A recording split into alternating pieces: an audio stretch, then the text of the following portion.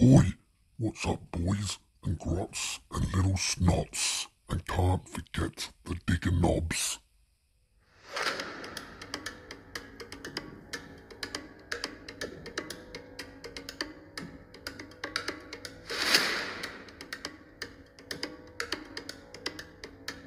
Corker Morker's Workshop.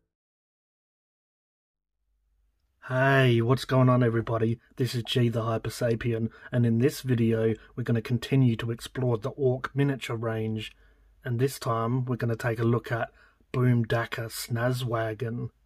So this kit comes with one Citadel miniature, Hurtlin' Pyromaniac Battle Buggy.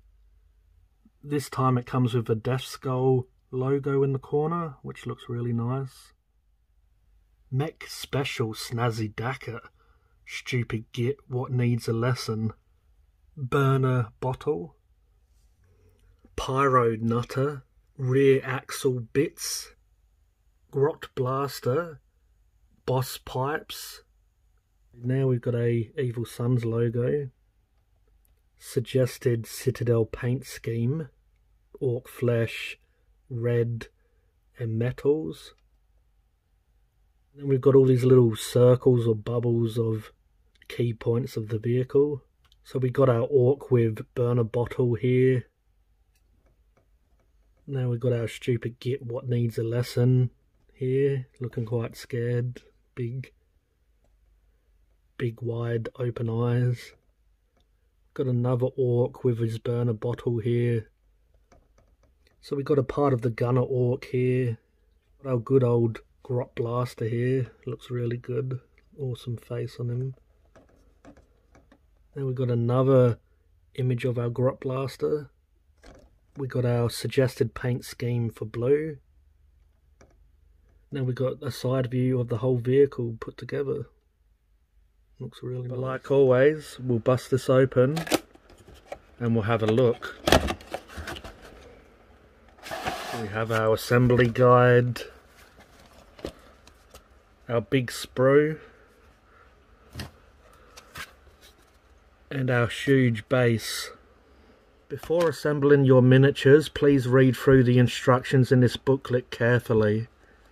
A pair of plastic cutters is required to remove the plastic components in this kit from the frame. We advise using a mold line scraping tool to clean up the parts to assemble your model, you will need plastic glue. Games Workshop sells Citadel fine detail cutters, Citadel mold line remover, and Citadel plastic glue, but does not recommend these products for use by children under the age of 16 without adult supervision. So we've got 1A here.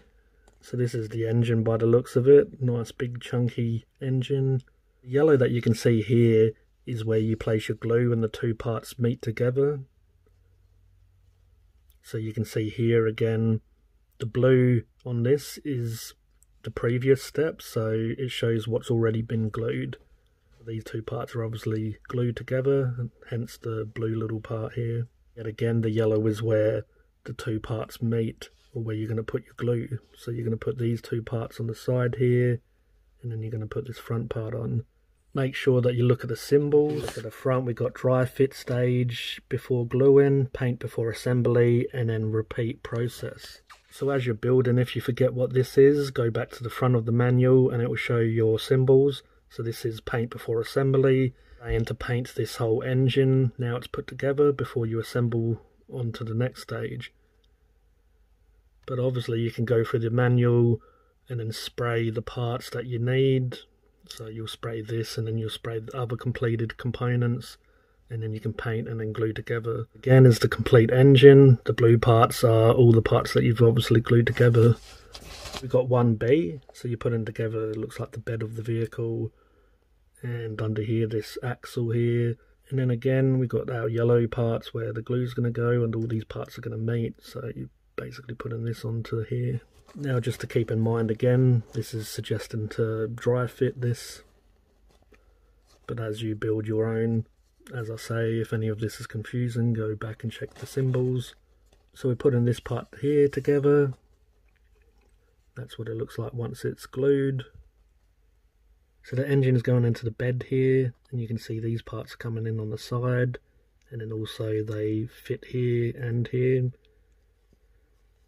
And then these two parts here are coming in. This is showing obviously how this piece goes together. This side is just symmetrical to the last side, so you have one on the left and one on the right. And then yet again, it shows a nice bird's eye view of how it all goes together. And we've got 1D.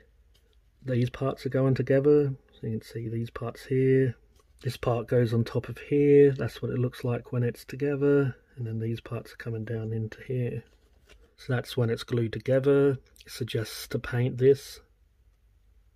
And then you've got two other images of different angles. Now we've got a dry fit here again. I guess all these like little fiddly parts here. But yeah, it doesn't seem too bad. It's like a spring with this top part on it. And then the two sides, I guess where the doors and the sides of the vehicle are coming into the middle here. Couple of glue points here, we got it along the bottom there, these two circular parts. Then it will be the same on this side. So we've got 2B here. The blue is where these two last pieces have been glued together. But on top of that, you've got the front coming in, these little glue points here, these circular parts. And then you've got these two side parts that are coming in and then going around this pipe that runs through here. But also, you've got these two little parts here, the bottom of it that glues on. And then also just this back part here, you're connecting these two pipes together and then it comes down onto it. I've got 2C, so it shows yet again all the blue parts that you've put together. But on the side here, you've got this pipe, looks kind of like an exhaust. You've got the few contact points there. The same on this side. Then you've got the front ram. And yeah, the exhaust is going to have all these, well, like a triple, I guess, exhaust coming out. Looks really nice. So that's 2D. Both sides have that. Now we've got 2E. You put putting together the wheels, so they come in two parts. Just glue a bit in the center and around, and then you put them together. Now you've got most of the vehicle done, you can glue them into place. Just a symbol was to repeat basically. That's what it looks like when it's glued together. Nice buggy design, really cool looking. We've got a bird's eye top down view of it. And then you've obviously got the front tyres here, so times two. Basically a slightly different design. Circular in the middle and then a bit jagged around here, but you're sort of gluing in between these these spikes here. Two of them. Then you've got 3A, so you're starting to put together the ork here. So the ork is sitting down here and you're putting the torso on top of that, on top of his legs. And then you put in the head on, quite simple. You also put in the back of the chair on him and it says to paint separately, which I'd suggest as well. Any vehicle really, if you can, it's good to paint the ork or the driver and crew if you can and then put them inside the vehicle it's going to be hard to get to the vehicle with him in there, but also it's going to be hard to get to little parts of him. Like if he's glued in, you're not going to be able to get to like, his legs properly and stuff like that. But yeah, now it's suggesting to glue him in place. You can see the yellow there where he's going to be glued. It's suggesting to dry fit. So you're putting the arm on him here, his steering arm. You see the glue points there and then you've got a top down view. It's nice the orks in green and the part that you've glued on is blue. We've got 3c and 3d here. So you're putting together you're putting his other arm in which is his burna bottle arm. So suggesting to dry fit this again. So the gun just has its little ammo box that you put on the side as well.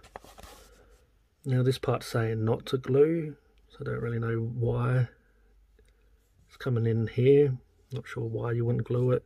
So maybe dry fit it and see if it's secure in there. Possibly glue if it's not so secure. But that's something that I'd have to explore once I've done that. Got 3E here. And that's the ork that we're just going to look at in a second. So the gun goes into here and then the ork we'll take a look at him now. So he's in two pieces. You're putting them together side by side, but he's sort of posed on an angle. One side has his burna bottle in his arm and hand already. You have his other arm here, which is going to go up and onto the gun, and then you have his face. And to paint this in sub-assemblies, so his hands coming in here. And he's holding onto this nice big gun, which looks amazing. A better view of it here. It's actually got some nice little teeth hanging off here and stuff. And then the gun is quite simple. Obviously, it's saying to glue this, and then that's how it is above. And paint the sub-assembly. But you've got the gun, the bottom goes into it, and the front here. It's like a triple barrel almost. Then you've got the little grot here, the grot blasta. Yet again, paint him, sub-assembly. He looks really cool.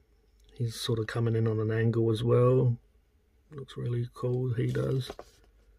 Now you've got this little git at the front, terrified. He's been strapped to the front of the vehicle for doing whatever he's done wrong. Looks quite weird there, but you can see him posed more here. Which is quite interesting. How to correctly put him in.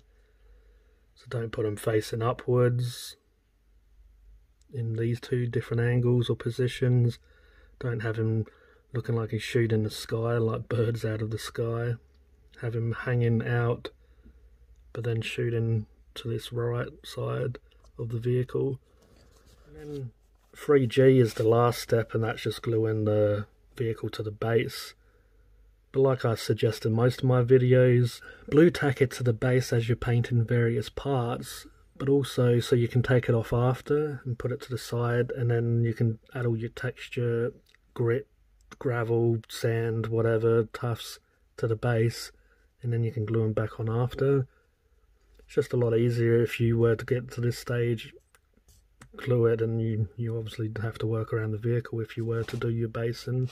You have a top-down view of the Deathskull colour scheme, and then you have a side view of the Evil Sunz colour scheme. Now we'll take a look at the English part of the rules. Boomdakka Snazwagon. Boomdakka Snazwagon. So your weapons, you get a big shooter, grot blasta, mek speshul, and burna bottles. Your abilities, you get Here We Go, Mob Rule, Dakka Dakka Dakka, Speed Mob, Grot Gunner, Billowing Fumes, ride in shotgun and explodes. You get faction keywords, ork clan keywords, vehicle speed freeks, boom dakka snazwagon. Now we'll take a look at this awesome looking sprue.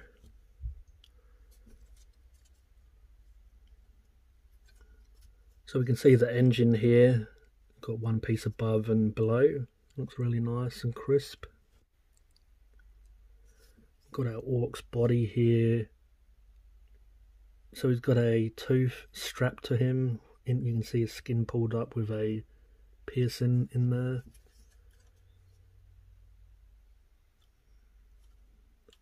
See the back of our grot here. See some of the springs, the piping. Got that really scared git here. Looks really detailed though. As most of these buggies, new buggies are. Really awesome details. You can see he's got some, well, it's either a tattoo or it's some body modifications where he's been scarred for it to look like flames. So I guess it's almost, you can use that as a tattoo or as I say, they've, forget exactly what it's called, but where you have the body modifications where they put like they where they scar the skin to look like certain stuff. But yeah, obviously these are pyromaniacs. Love their flames. You see him sitting down quite nicely with his little sit down pose. Really nice details though. The straps and the boots look really nice. You have this part that the wheels go onto. Right here, the grot blasta looks really nice really crisp little feet, all the little toes and toenails or claws there look really cool. You got this awesome big shooter here. Looks amazing. So much detail that is. All this little part. All the rivets and the ammo. The bolts and stuff. Looks really cool. Even like an exhaust. This was the part where the bars come together. Got a few little bits here, springs, and I think that might be where the gun. I think that might go into the gun. Got a glyph here. We'll flip it over in a second, have a look. You got the tyres, like how the tyre has like a rim with a glyph, like a speed freek sort of glyph in there. More bars and parts of the body of the vehicle. You got the front ram with the front grille there. Looks really beasty. Looks pretty devastating. These nice big spikes on it. So you've got the bed of the vehicle. Actually looks really nice. You've got these burna bottles. And then you've got all these shells here. You've even got some dials and stuff there. Not sure.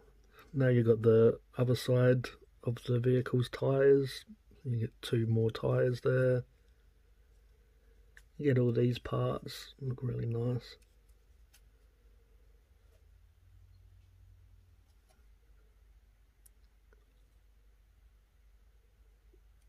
This is a really nice kit. You got the guy in half. He's got a burna bottle, some shells and teeth on him. Now these orks are so good, like just how the teeth are all strapped to them always, and obviously depending on what they're doing. So these are the Burna Boyz, and they've got their burna bottles strapped to him. You know, again, one little annoying part is the faces, how they come together. It's like there's the neck, and then they have this square part that the face is going to slot into. So you know they're stepping away from the orks that have the little ball joint part, which is a bit annoying. But they do look really nice. Have the exhaust systems here. Some other parts that you connect it to.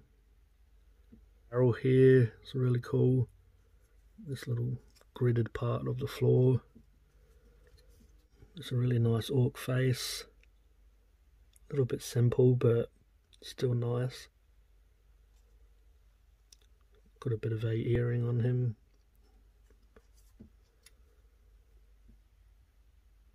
Really nice parts here.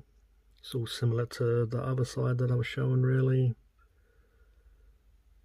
The steering wheel here with the ork face, his one's a little bit more unique I guess. He might be the shooter, my guess, because he's got his mouth out and sort of tongue in his throat like he's having a great time. He's got a little, he's got a little earring around this ear as well.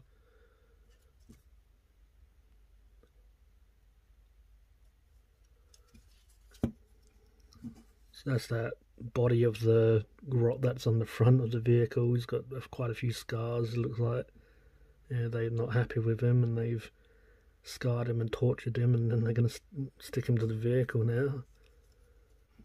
Have to flip it over so I can show you this rest of this grot. I really love that face and that grot. It looks really cool. Great goblin that is. Nice big nose. The ears are really cool. The facial expression as well. Really good.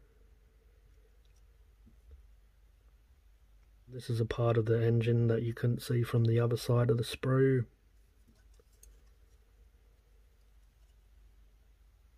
There's another angle for the ork. Looks really cool. This side you can see this stuff a lot easier.